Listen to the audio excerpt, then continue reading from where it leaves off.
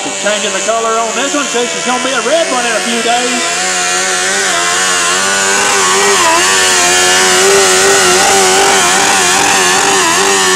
All right, boys, we're going to have a pull-off here tonight.